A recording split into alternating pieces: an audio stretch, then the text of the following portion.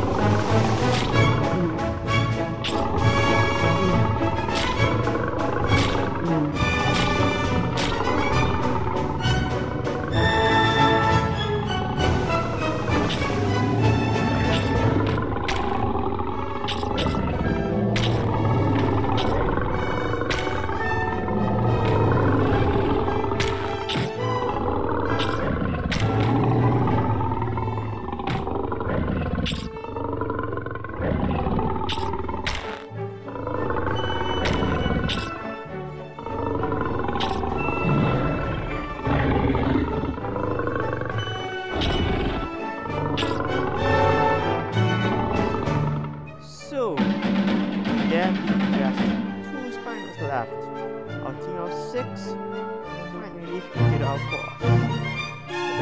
Today's video, if you enjoyed it, please consider leaving a like subscribing, and thanks for watching. Bye for now.